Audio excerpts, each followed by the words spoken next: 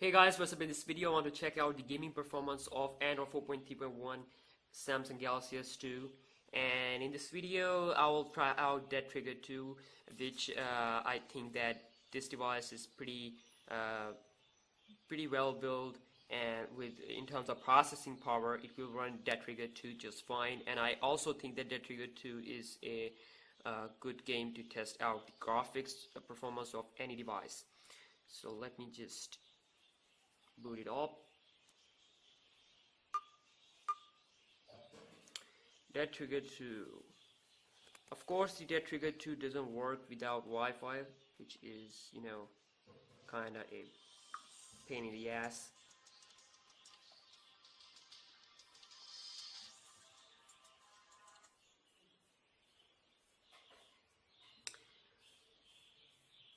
So the graphics of the Dead Trigger 2 is uh, running at low I think.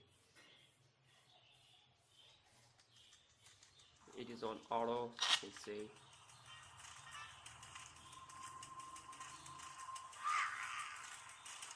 So definitely we are getting a frame rate of about 15. Now it's kind of stable.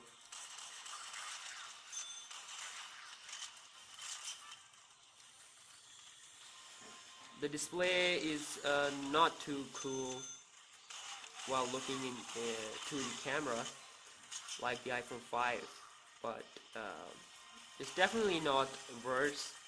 Nice. it's okay for a device.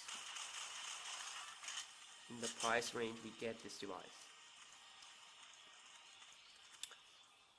Definitely the frame rate is uh, near 25 20 15 and of course it's not you know like it's unplayable. It is definitely very very playable. You can play it uh, without any problem. As you can see we don't have any major lags but uh, the frame rate is not 60 frames per second. Of course we will not get it uh, get a 60 frames per second uh, on the 60 frames per second on the S2 which is you know pretty old device from now, at least three years, but I still have this device with me and it's a pretty cool device if you ask me.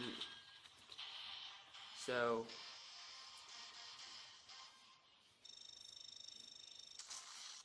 so yeah, this is the performance of the Galaxy S2 and Android 4.3.1 uh, Carbon ROM. You can check out my review on my channel or and I will also be putting the link in the description. This is Android 4.3.1 and this is the current version C Dorimax and I've also you know the performance is uh, okay. The frame rate is about 25 frames per second to 15 frames per second. Sometime it may hit uh, 30 uh, but uh, it is uh, also uh, playable. And by looking to the device it is a three-year-old device and I must say that the performance is more than enough uh, for a device like this.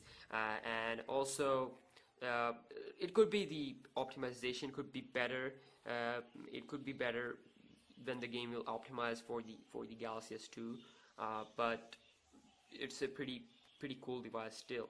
It's a pretty cool device. So yeah thanks for watching and I will see you in my next video. Peace out